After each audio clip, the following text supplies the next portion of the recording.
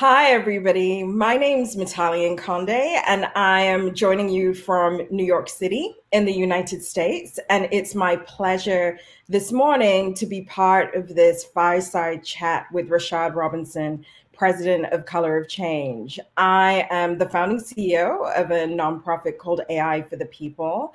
And our mission is to increase the representation of Black technologists within the public interest sector by 2030 and we do that through a variety of ways, including high level consultations. We work with journalists and uh, filmmakers and um, other creative professionals to really advance this idea that tech is not neutral. And in actual fact, tech is in many cases anti Black.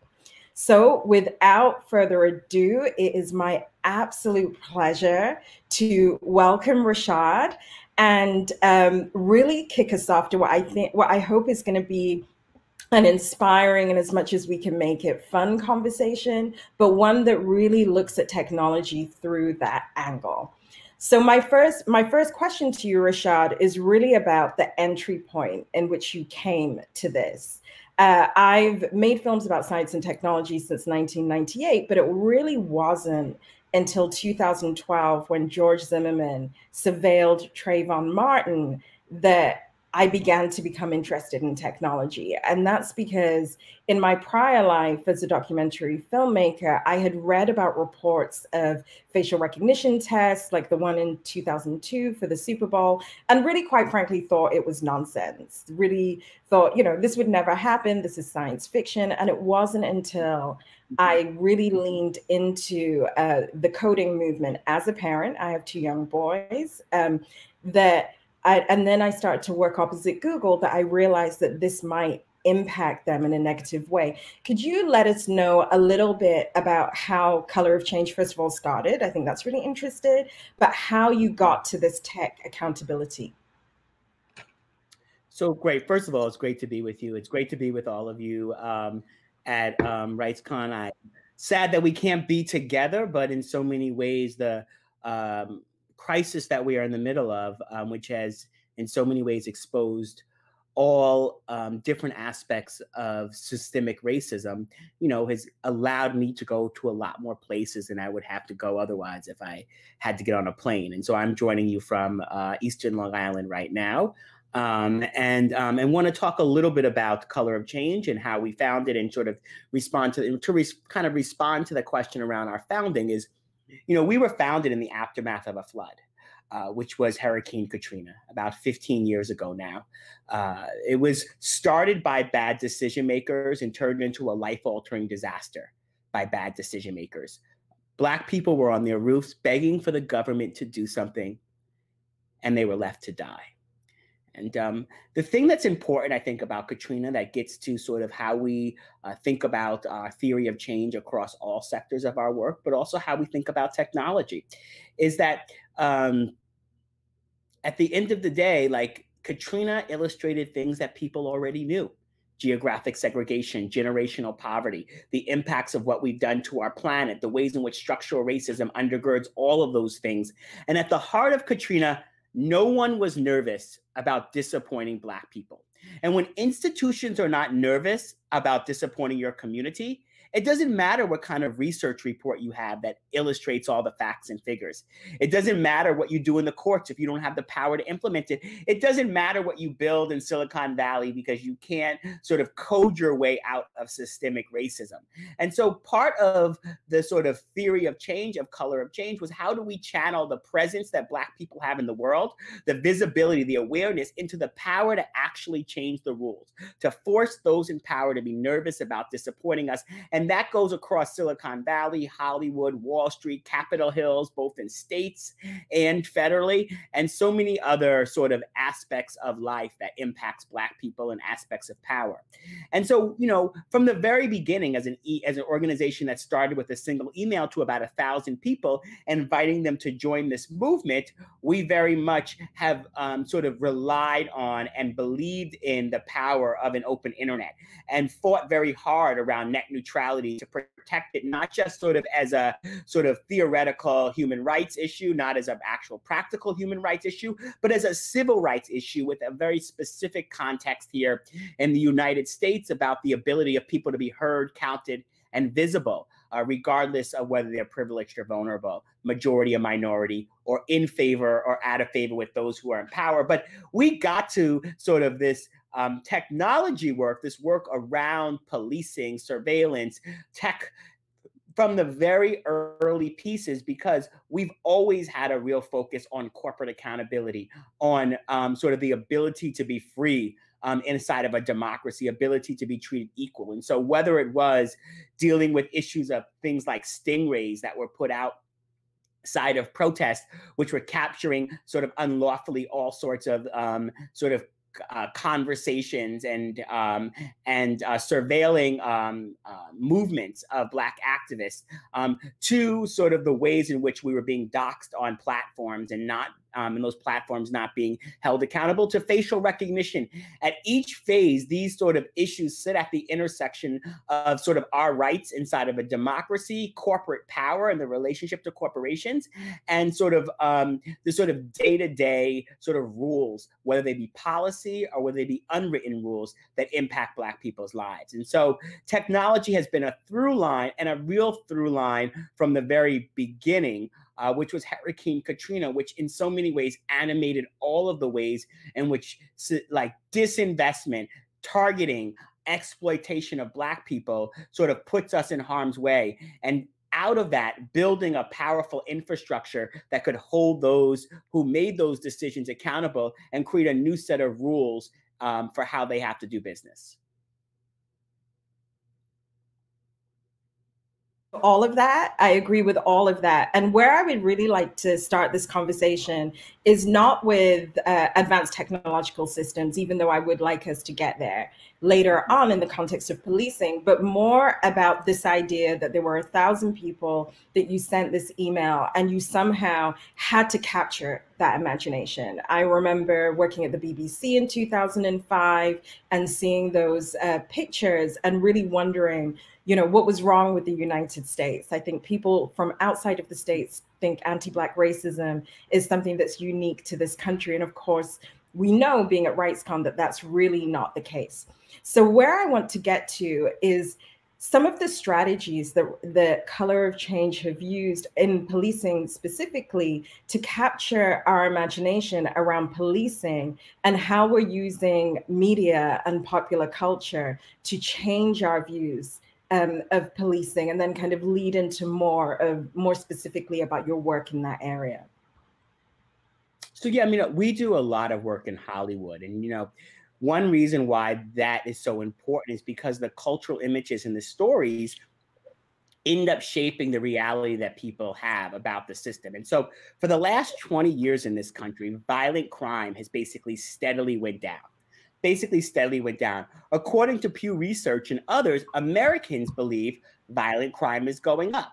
And so we have a gap between perception and reality that is deeply fueled by a whole set of incentive structures that happen on our sort of corporate media airwaves. We recently published a report in January um, called Normalizing Injustice, which looked at the crime procedural, the crime TV shows, the scripted shows like Law and Order and CSI and others, and sort of their representation of race and their representation of crime as it related to sort of the sort of role of technology, these shows do actually a tremendous disservice day in and day out of normalizing the type of illegal, um, unconstitutional surveillance, almost creating a world where the ends justify the means, that they're going to violate someone's First Amendment rights, but they caught the bad guy. And so everyone um, was kept safe. These shows are are supported sort of on the back end by all sorts of sort of law enforcement and uh, intelligence um, experts who end up being paid consultants on these shows.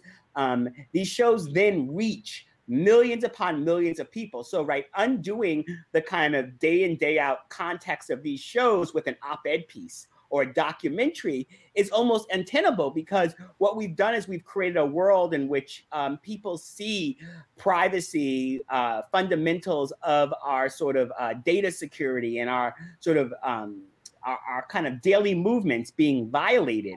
Um, but they see it, it dramatized in ways up against a sort of threat that makes it seem like it's okay to violate those rights because their people are being kept safe and then maybe the rights that are there are kind of sort of inconvenient to the sort of larger threat of of violence from a sort of black or brown or sort of foreign force um, and we can throw our constitution out the window and part right. of what we've been doing is working to push back against those shows, working to create sort of a new sort of understanding, a new sort of uh, um, uh, kind of system of how about have how these shows tell stories. And so now that we're in this, we're you know we're in this mess. So, for example, until I read your report, I would have said one of my favorite shows was Law and Order SVU or SUV. I don't, I don't know. But yeah, then ultimately, it, yeah you know, ultimately, I'm thinking this is actually a terrible show that is that is about sexual crime and maybe i need a therapist and maybe i need to examine myself. But what the reason i'm so interested in that is in this moment where policing for the first time at least in in my lifetime which is relatively short because black people in the united states have fought against carceral control since you know for 401 years that when africans came to this country and were enslaved they resisted and thereon it, that's the history on which that advocacy is built but i'm really curious that as color of change was getting involved with conversations uh, about defunding the police and conversations about reimagining the way that we think about public safety uh, in response to the extrajudicial killing of George Floyd. And of course,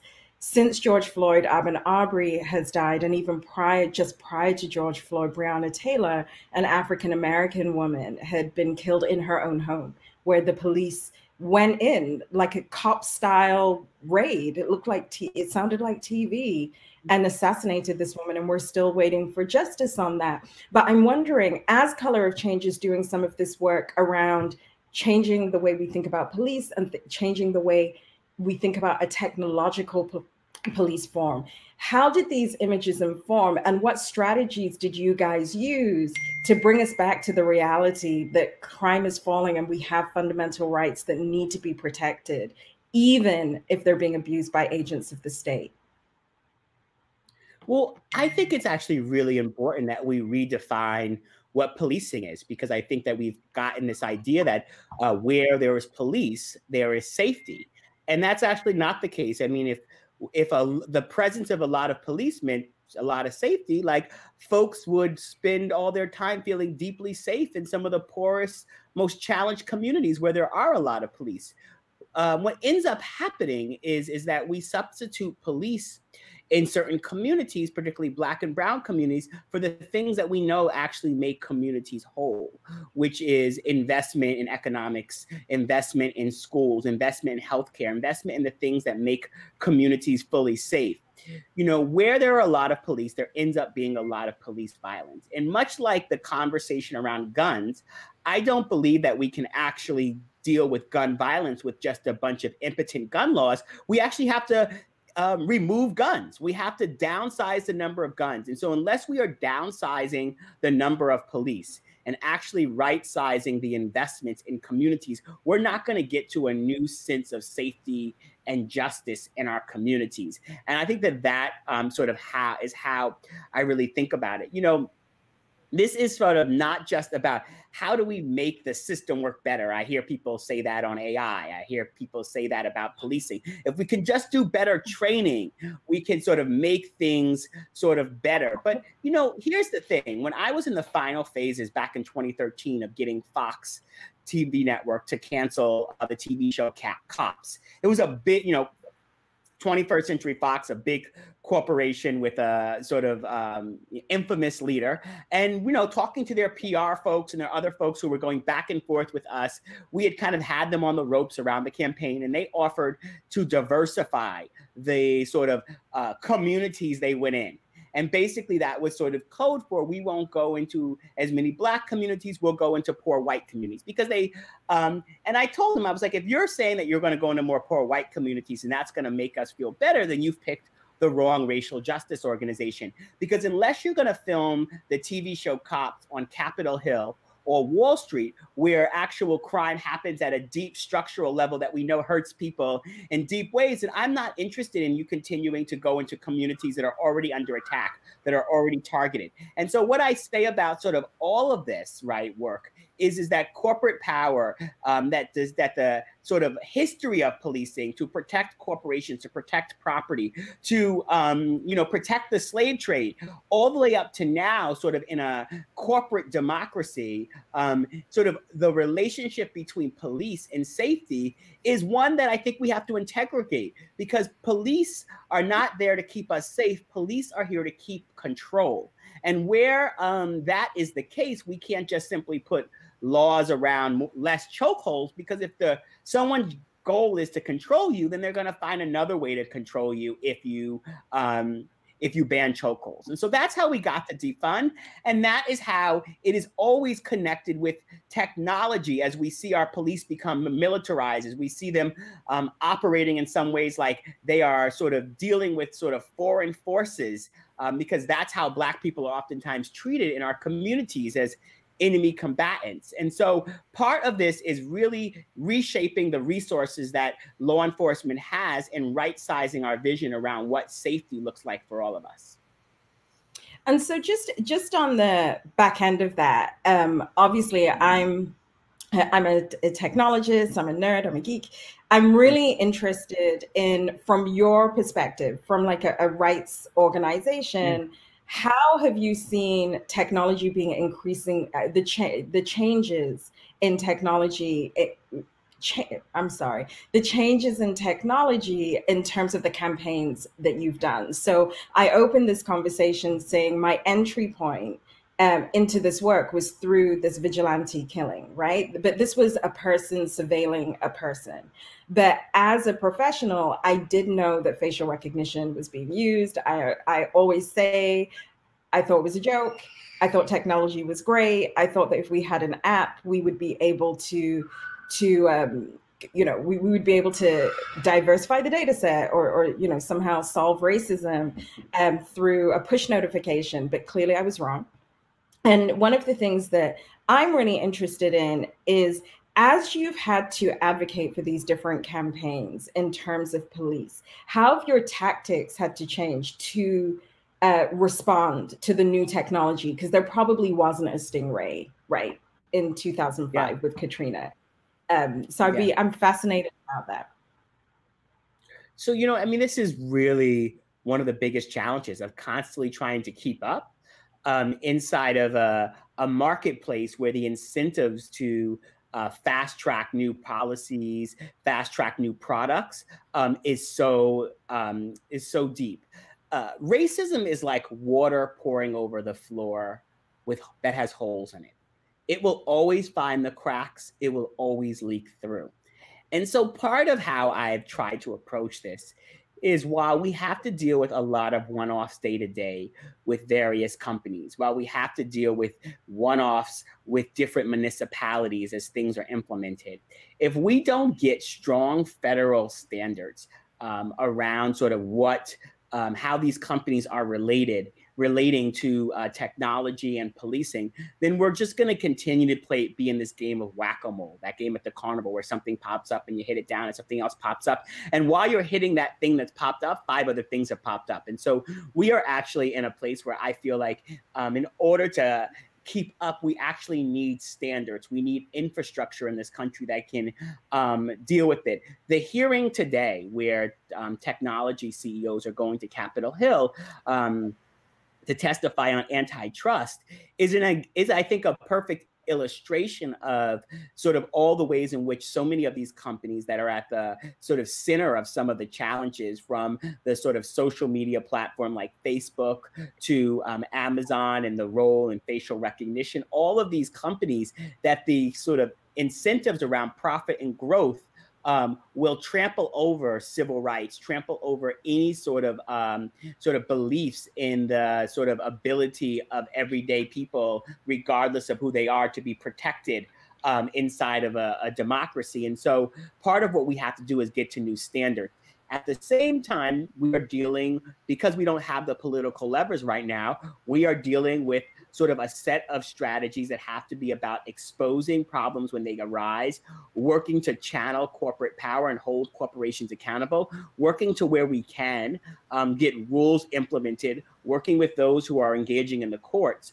All of these things are sort of, um, um, you know, things that we feel comfortable doing um, um, as long as we are building the the bricks, building the house towards the type of long-term change that makes it so that we are not playing um, we're not we're not chasing various issues but we're able to make sure that the systems we put in place are actually enforcing the problems as they arise so um, you've just made my morning, afternoon, or evening, depending on where you're where you're watching us from, because so much of my work, specifically around facial recognition, but also around um, information integrity, disinformation, and misinformation, li- originates in the work that I did um, in Congress, actually, as an mm-hmm. as an advisor, and being part of that team that introduced the biometric barriers. Um, Act, which was mm-hmm. the only one to be in, introduced to the US House of Representatives during this particular Congress, and as well as uh, deepfakes accountability. But what we were asking for in all of those bills was this idea that we have the the the the civil not just the civil rights but really the human rights the constitutional rights that are laid out to american citizens are applied to these technologies as well. And one of the things that struck me in your response was just last week i was on a panel with the un special rapporteur for racism Tendayi and who was in the opening uh, ceremonies for RightsCon, and she's just uh, she's just released a report called Techno Racism, and what that did was give a global perspective of how, in many ways, we think about the Uyghur in China in terms of facial recognition. And we also think about Black populations and false detection. I'm thinking specifically a case that the ACLU in, in uh, Michigan currently have, where an African American man was wrongfully arrested using facial recognition. They put his picture through a camera and uh, misidentified him because they thought all black people look alike. Hopefully, all you guys in the audience can see I'm me and Rashad, Rashad is him, and we are separate mm-hmm. people. But he hadn't been at that store since 2014. And, and he could prove that that he literally had not been in that place and you know they're going to be able to use geolocation data on his phone to confirm that's a very very long way of me saying me too. I agree with you. We do need standards. And i guess leading into my next question about movements because i think ai for the people are very very very concerned about standards and stories and changing those mm-hmm. and then working with other organizations that are concerned with movement. And from our vantage point we really credit the movement for black lives for providing a platform by which people could say not just that Black Lives Matter, but then linking Black Lives Matter to the use of facial recognition in police, which ultimately then led to a bill that we were able to that we were able to influence because we had already written the statute. That is an even longer way of me to ask in terms of color of change that thousand people is now five million people i believe. I am one of them. I look out for your text. Tell me yeah.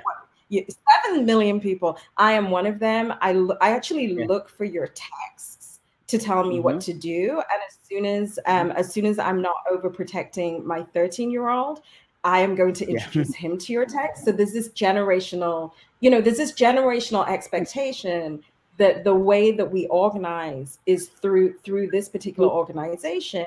But how can that seven uh, million people who want to do right, who want to do right by Black people, really be activated in this moment where we're seeing the movement of Black lives being a, a pressure too? Yeah, so I mean, a couple of things. First, you know, we've we are obviously trying to uh, electoralize this issue as best as possible, although it's complicated.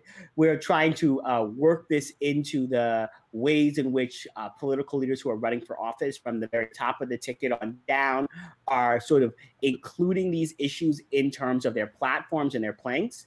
Um, and then we're also running this campaign called Beyond the Statement, which we're sort of in the early phases of, which is really about pushing these big companies across many sectors, from tech companies to Hollywood and elsewhere, to um, move beyond their sort of hashtag statement of support for Black lives to the sort of structural uh, things that they will do, both internal and then external, with their go to market strategies to really put some. Um, um, rigor and some accountability around statements um, of support for Black lives um, that don't coincide with the uh, sort of behavior change or engagement change of the company.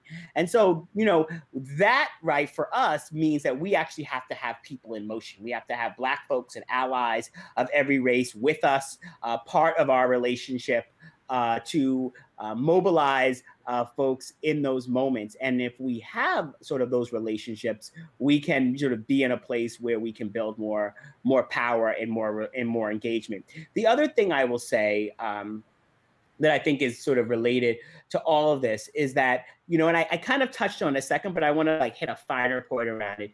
There is this way, especially around AI, that I sometimes hear people think like, oh, we'll just make the technology better and if we make the technology better, then we will solve for the problems.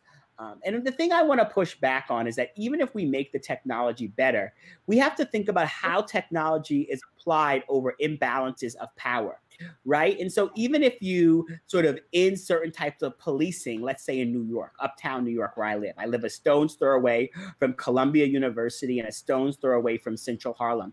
And uh, although Columbia University is taking over sort of all of Harlem now, but you know the main Columbia campus, and so no one can tell me that there's not just as much drugs being done on Columbia University's campus as there is in Central Harlem. We know who gets arrested, who gets tracked, who gets, who, who gets harmed for it. And so I just say that to say that simply changing gun laws without changing policing doesn't actually get you to a better sort of lived experience. And that I think from a perspective of people who think about rights, right?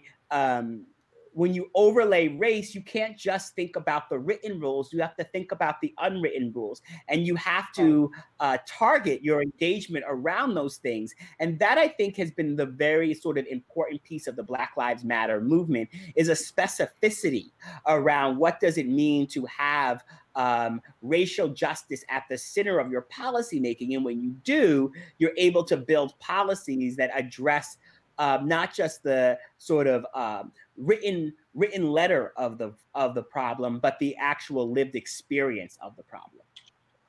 Right, right, and I I would um, just add to that. I, I didn't mean to amen as you were speaking, but I, you know I was catching the spirit because I, I do I do completely agree with you. But we saw this in Ferguson, right? We saw that one of the major problems in Ferguson were the municipalities in St. Louis County were using police stops to fund to to fund public services. And when we did when we looked at that data we found that black people were 11% more likely to be to be stopped than white motorists.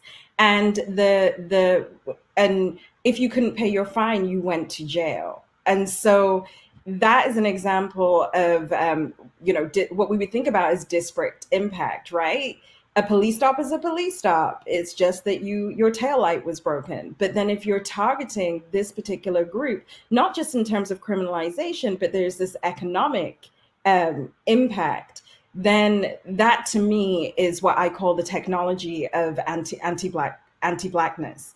So just to um, start to turn the conversation a little bit, because you have alluded to this, and I it's it's one of the aspects um, of your work that I love and I hate at the same time, but it's so important is your corporate strategies. So, uh, you know, I, I sit in my apartment in Brooklyn and I'm like, why is he going to eat dinner with Mark Zuckerberg again? This is a, this is a, you know, a bloodbath. We need to come with guns. We need to come with, but luckily I'm not you. And I don't have that access.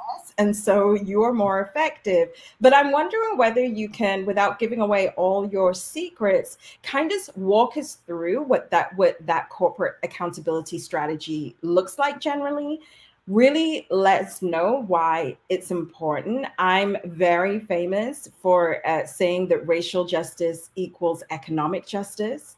And until we have both, you are not helping black people. And i you know i'm on the record of saying that does include reparations for african for for descendants of enslaved people. I think that that's really important. And as you're walking us through and this might be nine questions instead of one. But as you're walking us through, I really want us to get into stop the hate because that's one of the major reasons I showed up. Like I um I'm mm-hmm. overstretched and overtired and um doing a lot of work. So I'm not really getting into the details of things. And I would love for you to just let me and the audience know um, more about that campaign in the context of your greater corporate accountability work.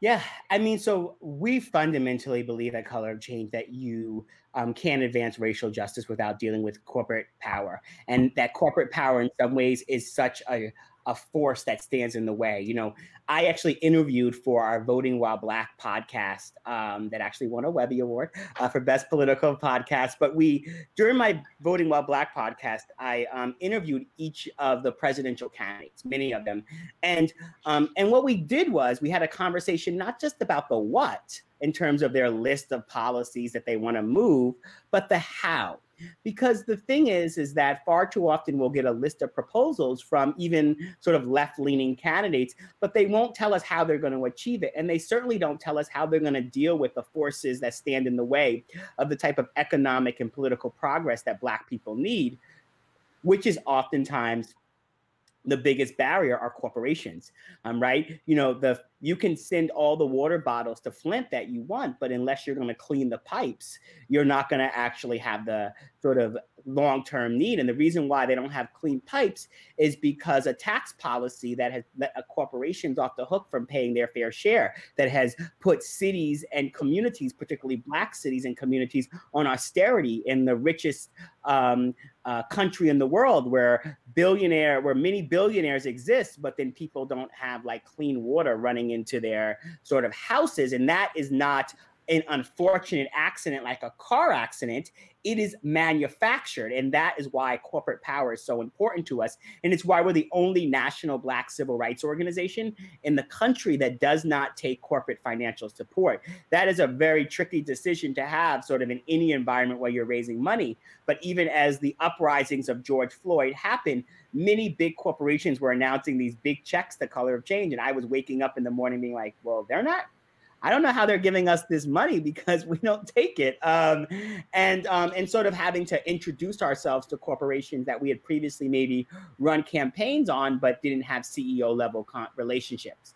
Our relationship with Facebook is unique in that um, we have been back and forth with Facebook for five years. And in many ways, we had, you know, pushed for a civil rights audit. We had done a lot of different things that um, sort of helped to kind of um, amplify the challenges with Facebook, which in many ways started with issues around policing, the doxing of Black Lives Matter activists and people, even from law enforcement, showing up to folks' homes, the um, uh, which Korryn Gaines, a black woman in Baltimore, had her Facebook Live turned off because the police asked Facebook to turn it off while she was in a police interaction. She ended up dead shortly afterwards, with police having one story and it not being sort of completely being able to back up with all the sort of visible facts. Baltimore has recently moving in, I think, to settlement of multi-million of dollars to the gain to Korryn Gaines' family. Um, and so all of that sort of all of these are sort of issues of how we got into it.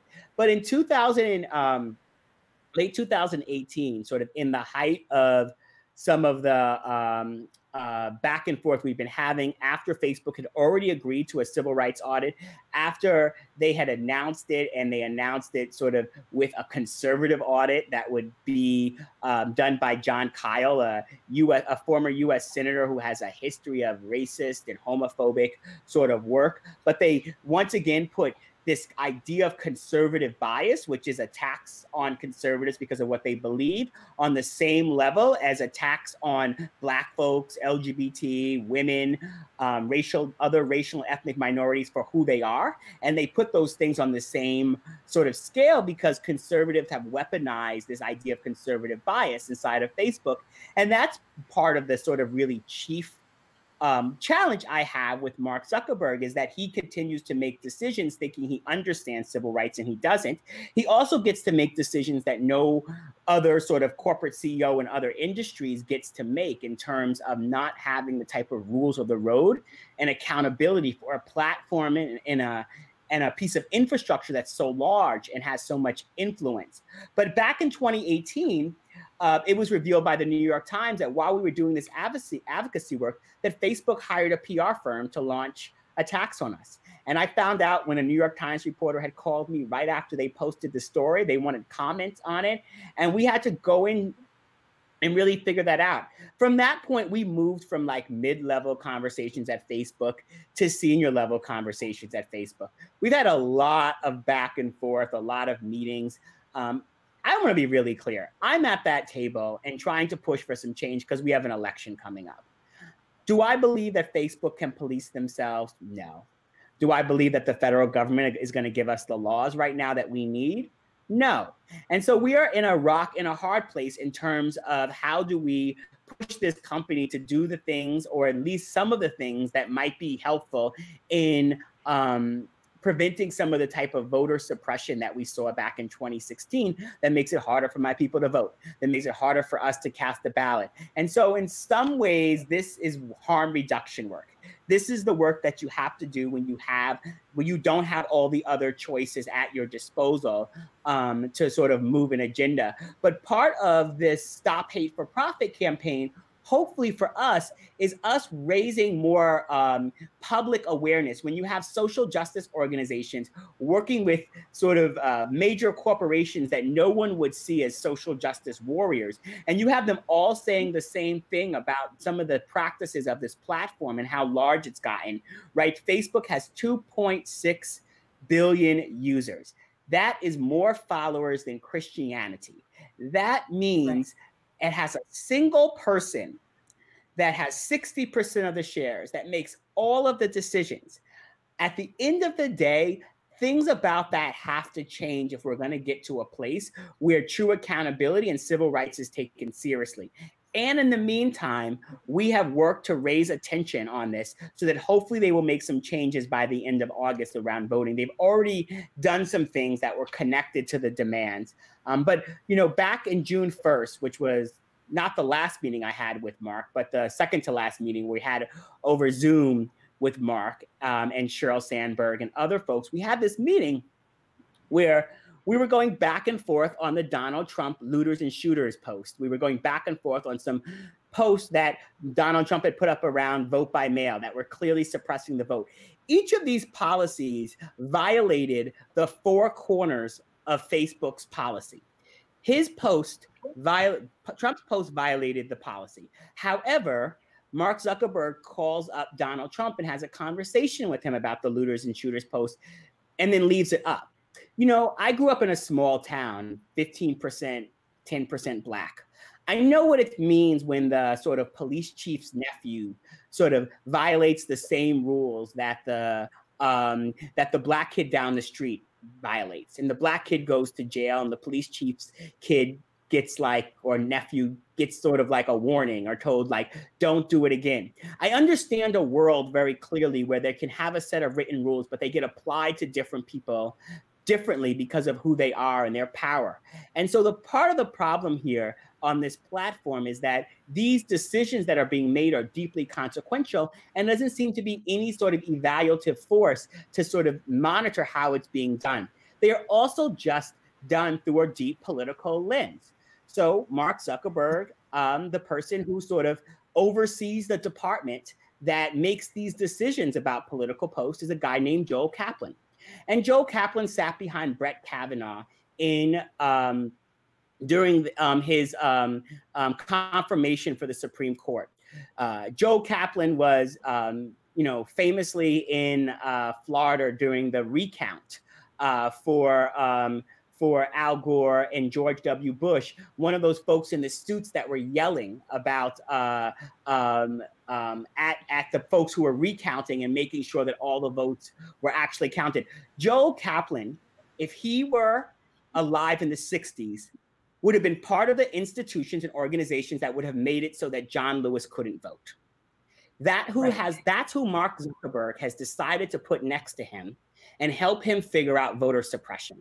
He has put someone that has made a career out of seeing racism as not um, um, a barrier to his participation or engagement with political institutions. And this is the person that Mark and Sheryl have defended to me multiple times when I have said that he should not be involved in this work and that he should no longer be there. And so when I say um, these challenges at these institutions, it's that they um, have prioritized, elevated, and given power to people who have advanced racist causes day in and day out in their lives. And this is why we also see uprisings from staff at Facebook who are right. who understand who Joe Kaplan is. And so I want to say to the staff at Facebook who are maybe watching, we see you and we thank you because the history of civil rights requires people on the inside exposing and pushing back as much as it does the people on the outside. So, th- so that's um, I have a million follow up questions, but I'm I'm just going to start with at that point specifically. Um, as I said, I'm one of your seven million. You text, I do. You text, I filled in my census. You you know, I, I like you guys for that. You, you keep me. You, you keep yes. me do, doing yes. what I'm supposed to do.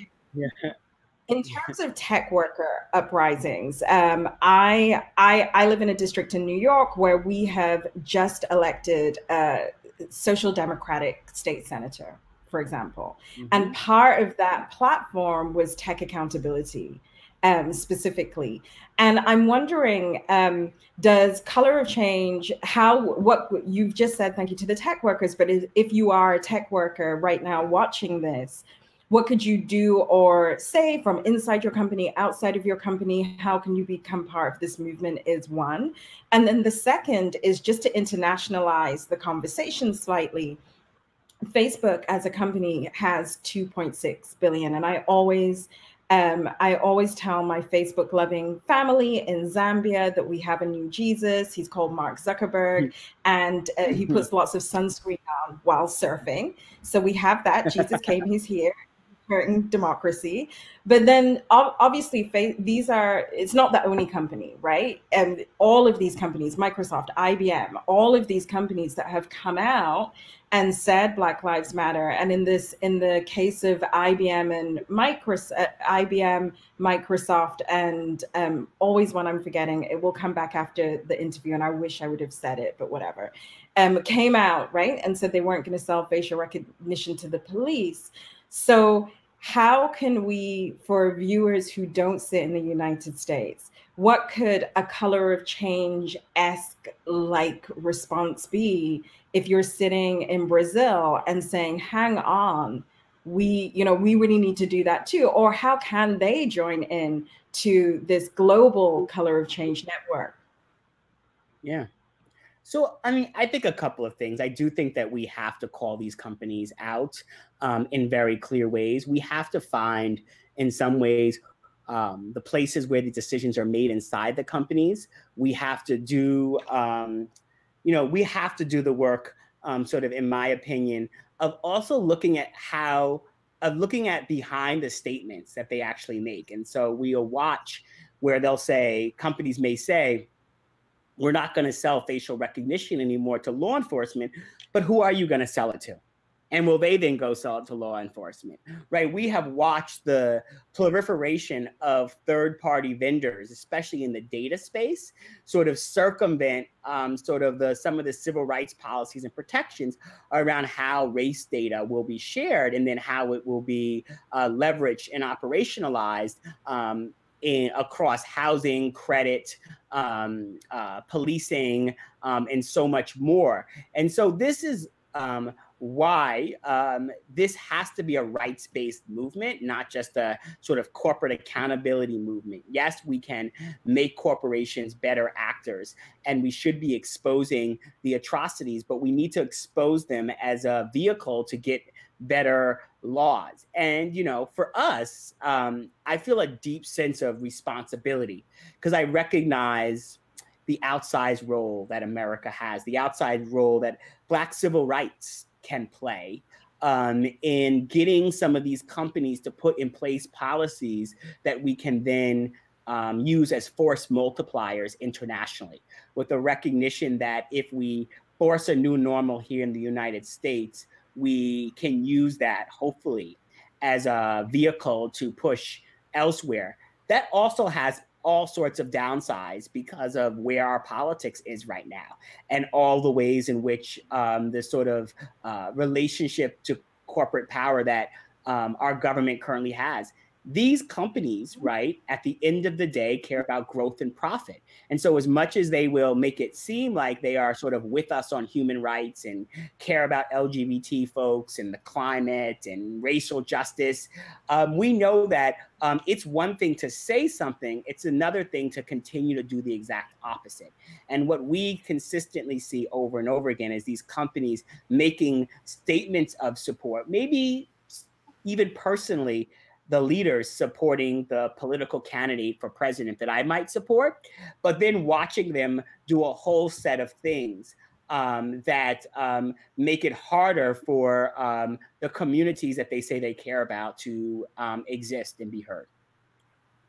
Okay, um, that makes me that makes me feel good, and we we all have our call, right? This is all of us. We all have to stand together, and I want to I want to move kind of as we're closing out our conversation back to this idea of rights.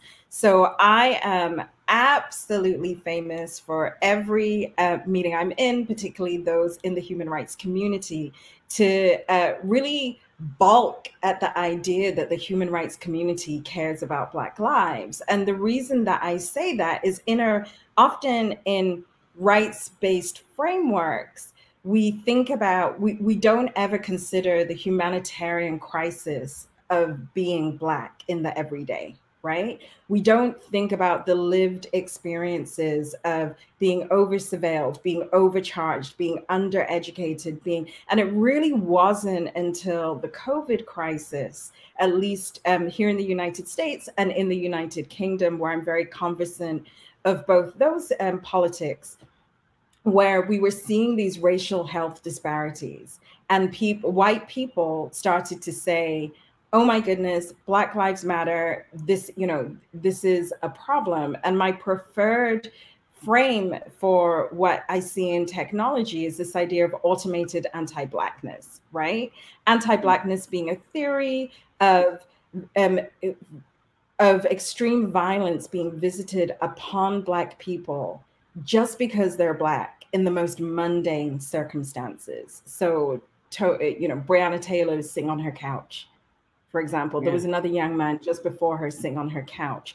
My question, um, uh, and and I get pushback, and I and I love all of these conversations with my civil rights mm. friends. And thank you, RightsCon, for inviting me. Even having said that, but the one thing I will say about RightsCon as an organization is I was really impressed in their opening ceremony when their um, leader admitted that they didn't have this racial justice frame and they weren't putting it to the to the front that they could see the pain in Sudan but they couldn't see the pain in Detroit and make that make that connection between the way those two black uh, black communities were being um, were being treated. So I'm wondering, as you talk about moving this conversation away from corporate responsibility and moving it into a human rights frame, which is quite frankly more valuable to us, because in U.S. civil rights law, ha- you have to be able to prove intent to discriminate.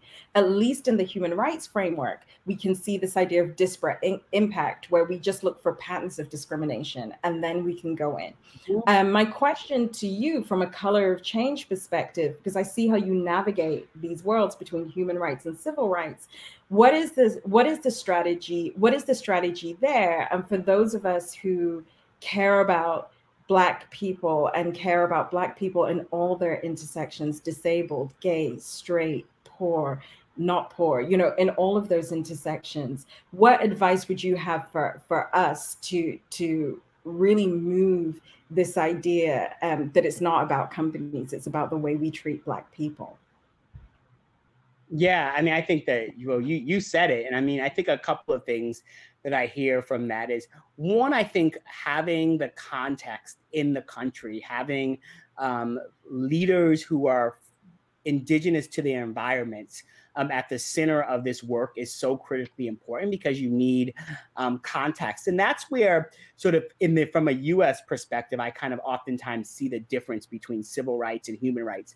Um, a lot of tech companies will use frameworks around human rights to actually push back against some of the sort of civil rights protections we are demanding because they will sort of prioritize this this i think what is oftentimes uh, misreading uh, First Amendment, a misreading of freedom of speech principles um, to supersede sort of uh, uh, anti-discrimination laws, um, to supersede sort of other amendments, um, and um, and 60, you know, the 65 civil rights law, and so forcing and so forcing Facebook to recognize that if they're targeting marketing is excluding women from jobs or excluding black people from housing, then that is not simply about someone's freedom of speech. That is actually violation of other laws. And you have to weigh, you have to have um, a real focus. And there's always a way in which I recognize when something hits Black people in a very specific, unique way, there's a way in which there can be an, a reason or an excuse for not people taking it on. And I want to say this just in the context that you know, as we think about anti-blackness, I think we have to just continue to interrogate both the language that we use around it and then and how that leads to the type of solutions that we end up with. Because oftentimes we end up starting from a place of how do we help black people? And if we start from a place of how we help black people or how do we fix the problems that black people are facing then we are off then we are already starting from a place where we see blackness as a deficit and we'll never actually sort of undo all the policies and practices. And so let me just say what i mean by that. We will call black communities vulnerable. And um, vulnerability is a personal trait you know, I can be personally vulnerable if I go on social media and I see an ex that's way too happy with their life. Like that's something I need to work out for myself, right? Like I don't like that's personal.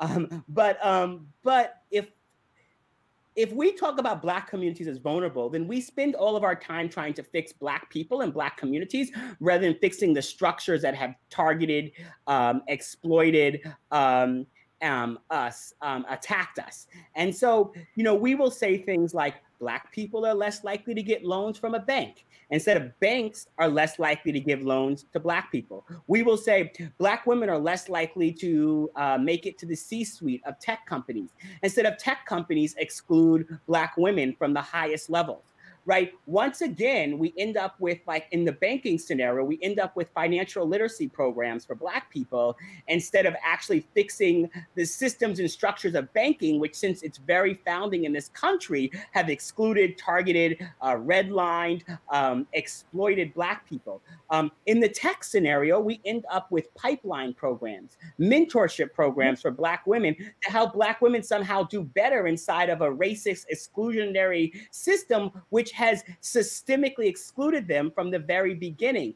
And so part of, I think, what I am sort of demanding from and what asking for um, the human rights community to recognize is that when we talk about Black people and we talk about systems that hurt us, we have to talk about the systems in active voice and Black people in passive voice, not Black people in active voice and the systems in passive voice, because it is the systems that are exploiting and targeting us. Because we are not trying to fix Black people, we are fixing and changing and dismantling dismantling the systems that have hurt and targeted us. That is how we get to justice and freedom.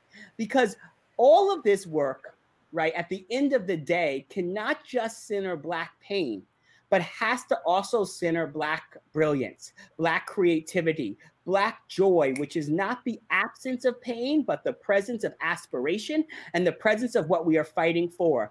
All around the world, there are movements that have centered themselves and modeled themselves off of the liberatory work of Black people here in the US, off of the songs, the chants, and the work uh, to fight for a better tomorrow and freedom. So there's nothing about that that is from a deficit perspective. There's everything about that that has actually been focused on making democracy work. Because the final thing I'll just say about it as we head into an election, even, is that Black people, Black Americans, Black people in general, are the protagonists in the American story of voting. No group yeah. of people have fought harder, stood on longer lines, faced more indignities to be able to express their will for a better future. No group of people have had to face more indignities, threat of violence to be educated, just to learn how to read. If you sort of look at the history of literacy in this country and slavery and Jim Crow, all of these things have been part of the American story. So we shouldn't be starting our work thinking about how do we help and fix Black people, but how do we channel what are not unfortunate stories of, in, of injustice, but unjust stories of injustice. And how do we build the power to actually change the rules long term? And that, I think, is how we both make democracy work. And when we make democracy work, then we can build the systems and structures to make sure that technology doesn't exploit um, our holes in our democracy because the water that pours over the floor will find the holes, and we have a lot of holes to fix. Oh my God, Rashad, you have just taken me to church, full church. I appreciate you for that.